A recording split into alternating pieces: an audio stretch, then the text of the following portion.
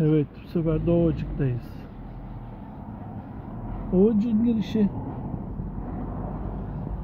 Çok uzun yıllar evvel Tisam'da evim vardı. Şuradan gidiyorduk.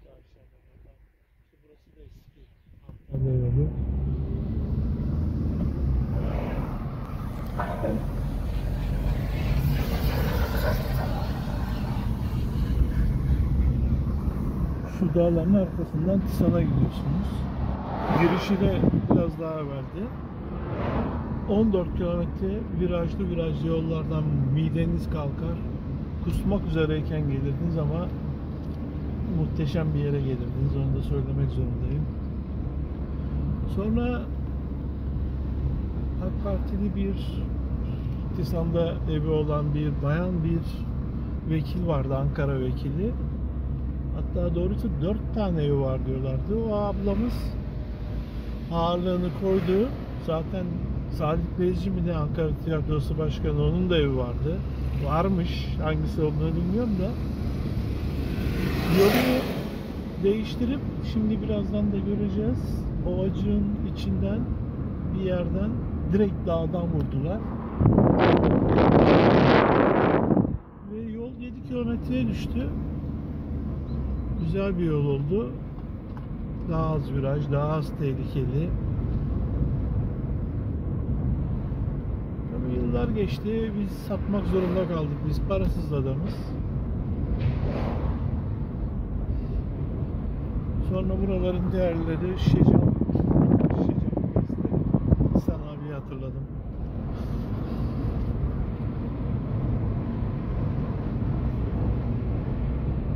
İhsan abi dediğim abimiz Tisan'da evi olan Mersinli komşumdu. O anlatmıştı. İki kızı vardı. İkisi de tıp fakültesini kazanıp Ankara'ya gitmişler. Bunlar da mecburen Ankara'ya taşınmışlar karı koca. Ankara'da biz Mersinliyiz deyince siz Tisan'ı biliyor musunuz falan demişler. Tisan nere falan demiş. Tarif etmişler. İhsan abi diyor ki o demiş Şecam'ın kum ocağı gibi şey var. Ya diyor ben diyor oraya kadar gelir orada onları kontrol ederdim. Muhasebe şefiydi galiba Efsan abi Şecam'da mı ne. Sonra Mersin'e dönerdim diyor. Hiç de merak edip dağın ötesine gitmemişti diyor. Adam Ankara'ya yerleşince Ankara'dakiler söyleyince öğreniyor ve geliyor. Görür görmez de ben buradan ev alacağım diyor ve alıyor da nitekim. Ben de onun gibi olmuştum. Ben de görür görmez alacağım dedim. Ambulans geçiyor.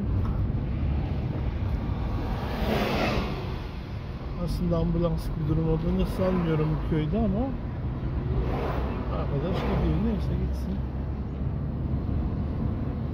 Böyle hikayeler var işte memlekette. Burası Işıklı Denilen bölgesi galiba. Daha tam da Ovacık değil. Işıklı bir köy. Ovacık'la birleşmiş. Neresi Işıklı, neresi Yeşil Ovacık tam da bilmiyorum ya. Herhalde o ilk girdiğimiz yer Işıklı tarafı. Dediğim gibi işte sonra biz satmak zorunda kaldık. Sattık. O zaman buralarda ben köyden yer alacağım dedim. Birkaç yeri sordum kimse satmıyor falan dedi. Köyün kahvesinde ileride göstereceğim.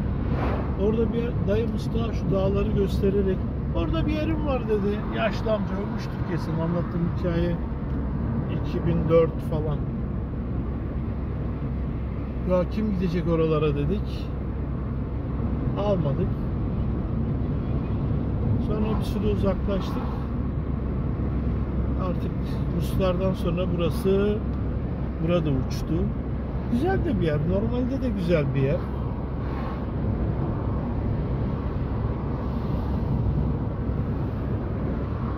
Şuralar hep tarlaydı. Bak teker teker evler gelmiş.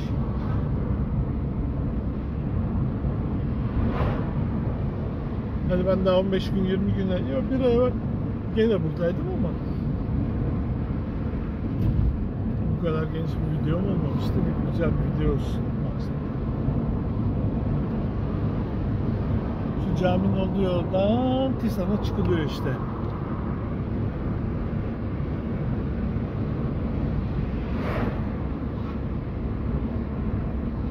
Tisan dediğim yer şuradan üst abi dönüp mi muhteşem bir yarımada.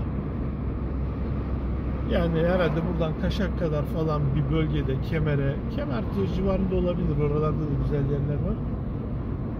Daha bunun buranın rakibi yoktur yani. Yarın inşallah denize gideriz. Bir oradan da Tisan'dan da yeni çekim yaparız.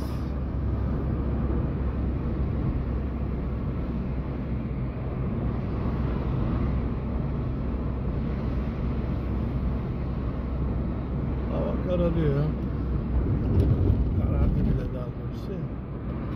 Geçtim mi ne bak söylemeyi unuttum. Herhalde oradan işte Tisan'a gidiliyordu. Söylemeyi unuttum. Tisan'ın girişi hemen biraz daha geçtiğim yolun bozuk olduğu yer. Şurada da Tisan'ın deposu, su deposu var diye biliyorum. Geçtim mi orayı da mı geçtim? Ya da biraz ötede. Burası Ankuca mıydı? Onur Yemekçi diyorlar. Yemek çıkartıyor. Kime çıkartıyor?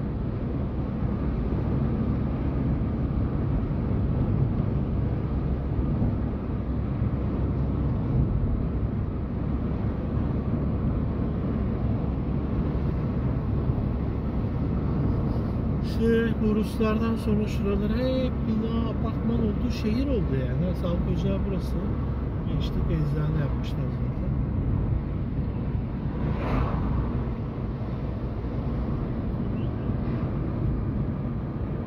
Benim zamanımda market şura mesela yıllarca harabe olarak kaldı.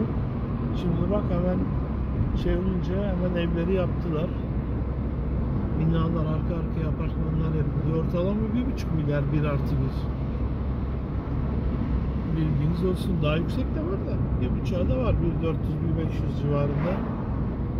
Kiralar da 10 binden başlıyor. Ben mesela şu apartmanın birinci katını kiralık diye sordum. 17 bin lira isteniyor. BİM'in karşısı. BİM de var. Bizim zamanımızda yoktu. Şok da var. A101. Burada işte buranın merkezi. Yıllar evvel sadece buraydı ya.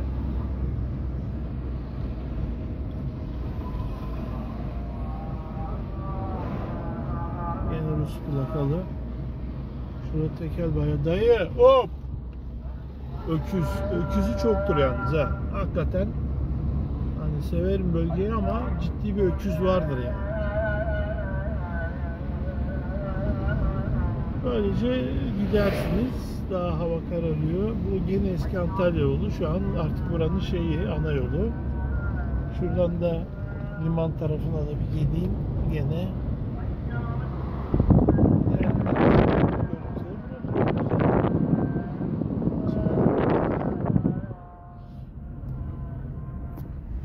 Aa, şuraya limana bir şey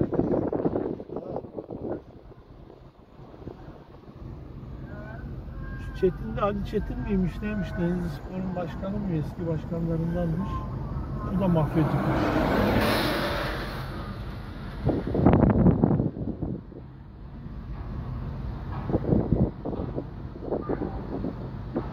Ya işte şu eski Saadet Partisi'nin bir neydi şu an Nur, neydi Nuran mıydı neydi bir tane şu an devlette önemli rolde bir Numan Kurtuluş ha. Dedikodu bilmem. O liman onun gemileri işte şey çekiyormuş. Orada Akdere'de bir çimento fabrikası yaptılar. Ya aman hep tezgah. Öyle diyorlar ben bilmem.